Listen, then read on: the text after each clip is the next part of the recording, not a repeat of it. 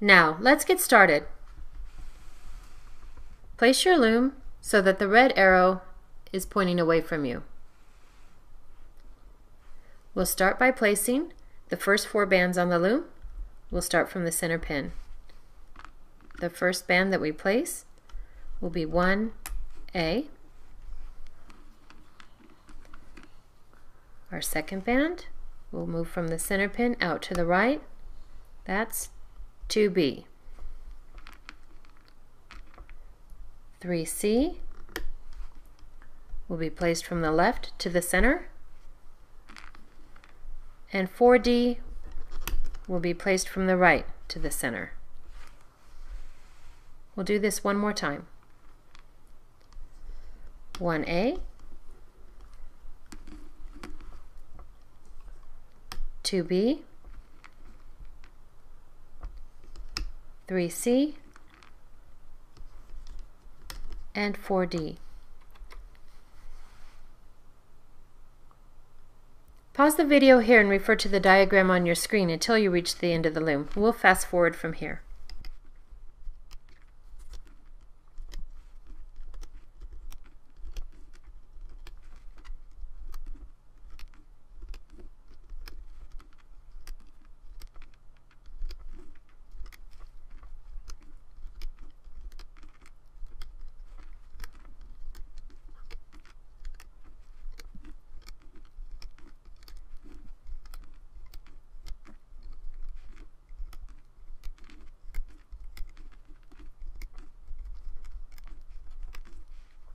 And the last band will be placed to the center. Let's take a moment here and push all of our bands about halfway down the pin.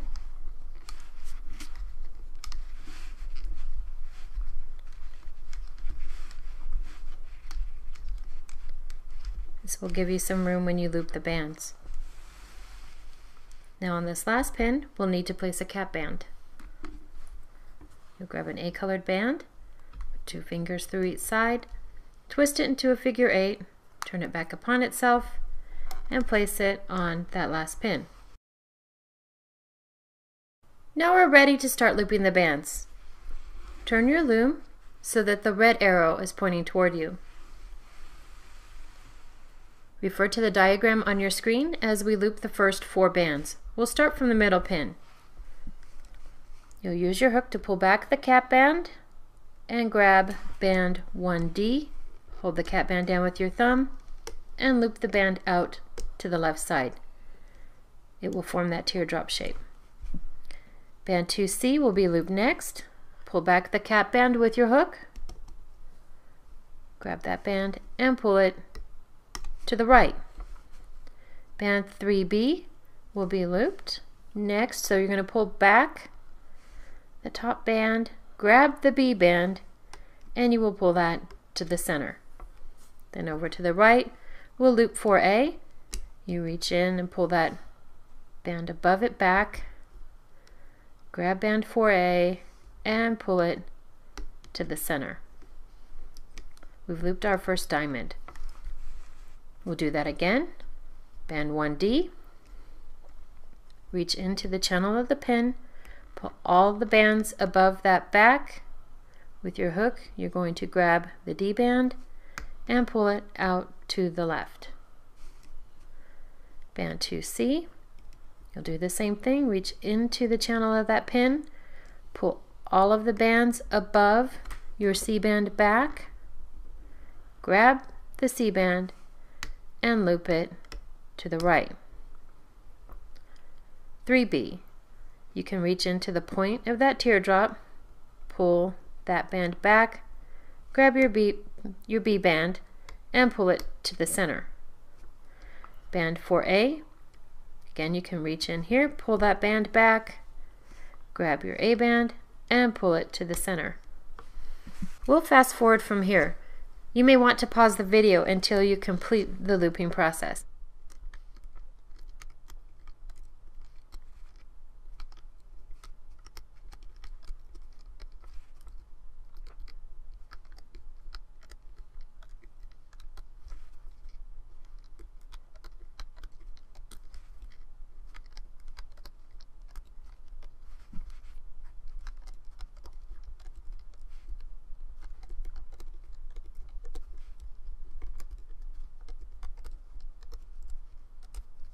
Now there I've dropped my band. I'll show you how I fix that. You put your hook in, grab the band, pull it back up. Whoops. You reach in with your hook, pull it up, and then place it over the pin again.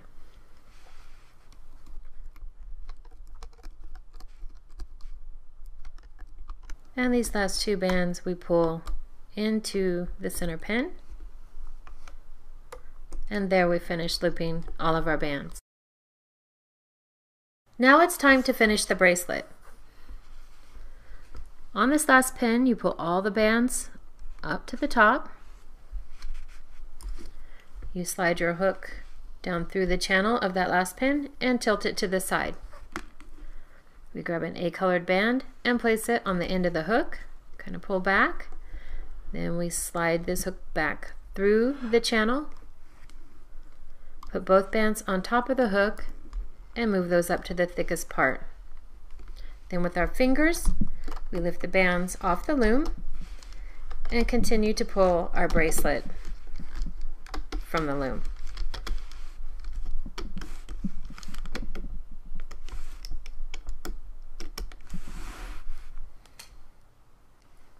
When you finish making the diamond bracelet, it's a good idea to test the length of the bracelet around your wrist. It may be long enough for a child's wrist. As you can see, it almost fits around mine. So I'm not going to use as many extensions on this bracelet. So what you'll need to do is decide how many bands you'll use for your extension.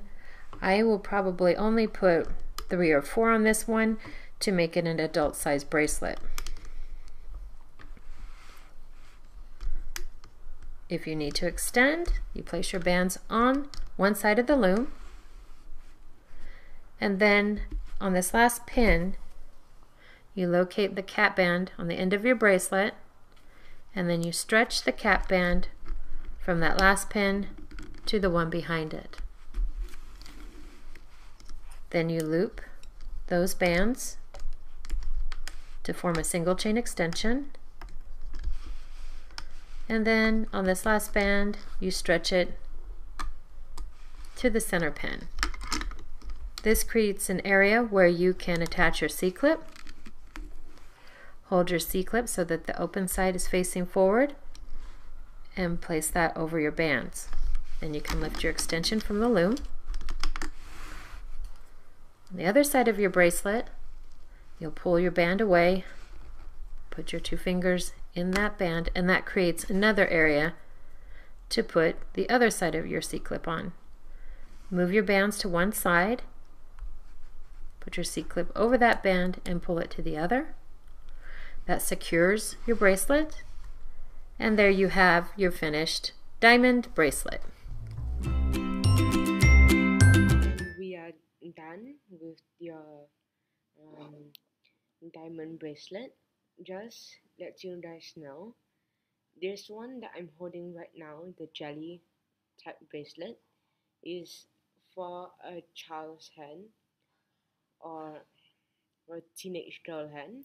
If you are making it for a teenage boy or an adult, please make an extension right here and that is it. So that is all to make for my in for the video today to make your diamond bracelet. Don't forget to give a big thumbs up if you like it. And don't forget to subscribe at the um, button below. And I'm gonna post my website where I sell my rubber bands